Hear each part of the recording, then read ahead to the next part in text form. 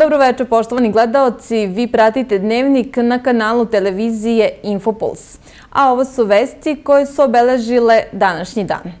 Grad Velenje u Sloveniji organizovao je susrete sa predstavnicima lokalnih samuprava i cele Evrope sa kojima ima uspostavljenu saradnju. Cilj je da se opštine i gradovi povežu i realizuju zajedničke projekte. Susretima u Velenju prisustvuju Slavolju Stojmenović, pomoćnik gradonačelnika Vranja i predstavnici Kancelarije za lokalni ekonomski razvoj. Gradonačelnik Velenja Bojan Kontić organizovao je prijem za goste, a tokom dana biće održana prezentacija projekata. Planiran je i obilazak postrojenja za prečešćavanje otpadnih voda. Sutra će biti održan sastanak sa preduzetnicima iz Velenja. Pamošni kombinat Junko iz Vranja planira da u Bujanovcu otvori novi pogon u kojem će posao dobiti 50 prekvalifikovanih radnika. Narodni poslanik i lokalni lider Bujanovačkih naprednjaka Nenad Mitrović saopštio je da će 1. februara početi tromesečna obuka potencijalnih radnika. Ukoliko Junko kasnije organizuje dvosmenski rad, bit će potrebno još 50 stručno osposobljenih radnika.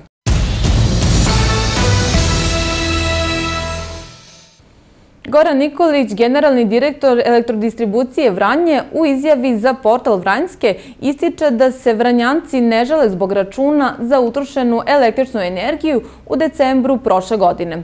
Za sada nema pritužbi građana na račune za decembar, a ako su nešto malo uvećani, to je zbog toga što je očitavanje brojila krenulo nekoliko dana kasnije, prvenstveno zbog vanredne situacije i delom zbog nepristupačnih terena u nekim područjima, kaže Goran Nikolić. Prvi čovek Vranjske elektrodistribucije negira navode pojedinih medija da će zbog kašnjenja očitavanja brojila potrošači utrčati u zonu sa višom tarifom. Da odmah objasnim, potrošači ne mogu da upadnu u zonu sa višom tarifom jer se prak potrošnje za zone sa višom tarifom podiže sa uvećanim brojem dana, pa pozivam građane da ne brinu, a i račun u februaru za januar će biti manji. Tumači Nikolić. Doktorka Svetlana Stojanović, specijalista socijalne medicine, nova je direktorka Zavoda za javno zdravlje u Vranju. Na funkciju vršioca dužnosti imenovana je rešenje ministra zdravlja Zlatibora Lončara. Doktorka Stojanović u Zavodu radi od 1988. godine. Pre nje na čelu ove zdravstvene ustanove bila je Milena Mišić. Oba sindikata u Zavodu za javno zdravlje su protiv ove odluke.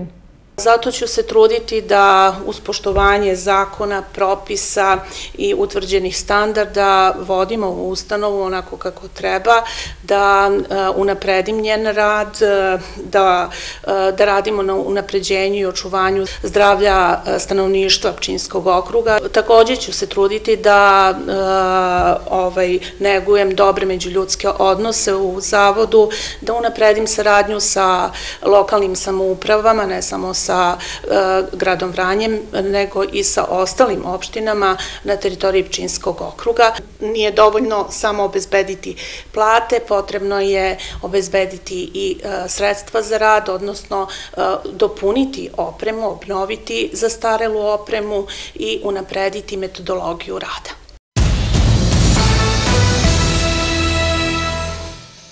Pred krivičnim većem Osnovnog suda u Vranju, kojim predsedava sudija Ljiljana Nikolić, danas je nastavljen dokazni postupak protiv Nenada Stevanovića Rokija iz Krive Feje zbog sumnje da je počinio nedozvoljene polne radnje nad učenicom NS. Port parol Osnovnog suda u Vranju, sudija Aleksandra Tošić-Arsić, izjavila je da je seksualno manijaku pritvor produžen do 4. februara. Okrivljeni pedofil Nenad Stevanović, koji je zaposlen u rudniku olova i cinka Grot u Krivoj feji, saslušan je 18. novembra. Oštećena učenica sredinom decembra saslušana je u poslovnoj prostoriji Višeg suda. Službenici policijske uprave u Vranju uhapsili su napasnika 8. oktobra 2016. godine. Lišavanju slobode pedofila prethodila je kolumna na portalu nedeljnika Vranjske. Carinici su tokom vikenda u takozvanim dubinskim kontrolama zaplenili 163 kg rezanog duvana. Kod naplatne rampe na ulazu u Vranje 21. januara ove godine carinici su zajedno sa policijom zaustavili automobil Opel Kadett ćuprijskih reistarskih oznaka u čijem je prtljažniku pronađeno 70 kg rezanog duvana. Vozač 51-godišnji ćupričanin nije posjedovao nikakve dokaze o plaćenim dažbinama za robu. Dan ranije carinici su na poziv policije iz Vranja asistirali u zajedničkoj kontroli pomoćnih objekata u selu Vrtogoš pored Vranja. Prilikom pretresa je u Šupi, pored porodične kuće 20-godišnjeg srpskog državljanina, pronađeno 9 crnih kesa i četiri kutije sa rezanim duvanom, ukupne težine 93 kg, bez bilo kakve prateće dokumentacije. Prema izjavi vlasnika, rezani duvan je radi dalje preprodaje nabavljen u Velikom Trnovcu. S obzirom da se radi o stranoj robi za koju nije postojala dokumentacija o poreklu i plaćenim dađbinama, u oba slučaja je pokrenut prekršeni postupak, a roba privremeno zadržana.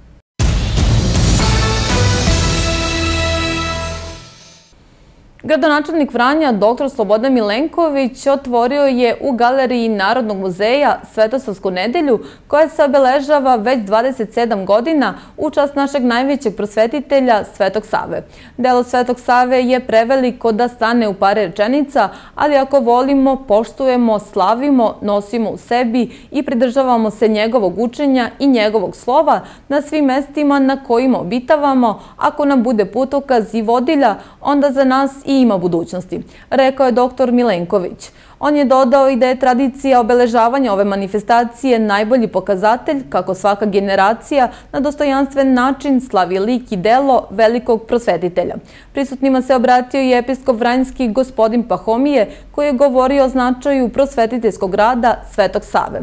Gosti su uživali u izvedbi hora muzičke škole Stevan Mokranjac kao izložbi fotografija pod nazivom Pravoslavlje jedna velika porodica autora Dragana Tadića. U okviru obeležavanja Svetosavske nedelje za večeras je u sali Doma vojske zakazano književno veče Vida Gnjenović pod nazivom Književni portret. Prethodna godina je za odbojkašice Vranja bila vrlo uspešna, one su i u novoj godini nastavile sa sjajnim rezultatima. Na otvaranju sezone ponovo su briljirale i pobedile Beogradsku rodu rezultatom 3 prema 1 u setovima. Ovaj meč 11. kola šampionata koji je odigran u vrlo hladnoj dvorani u Vranju, donao je zanimljivu i interesantnu odbojku. Mlada i perspektivna ekipa rodi iz Beograda pružila je jak otpor vranjskom timu, ali to nije bilo dovoljno za iznenađenje. Gošće su bolje otvorile meč i posle vodićih 3 prema 0 u prvom setu. Beograđanke bolje igraju nastavku seta i rešavaju ga rezultatom 25 prema 15. Četvrti set donao je odličnu igru Vranjanki, pre svega odličan blok tandema Petrović-Mijanović, što je bilo dovoljno za 25 prema 18. Za nova tri boda za Vranje i za vrh tabele. Narednog vikenda po rasporedu počinje drugi deo sezone, a odbojkašice Vranje igraće opet pred svojim navijačima jer dočekuju ekipu Beograda i to će biti prilika za osvajanje novih bodova u šampionatu Prve lige Srbije, prenosi Sportski savez grada Vranja. Sutra vreme pretežno oblačno, ponegde sa snegom, uglavnom na jugu zemlje. Poštovani gledalci, to bi bilo sve što smo vam pripremili za ovo izdanje dnevnika. Hvala vam na pažnji i prijetno.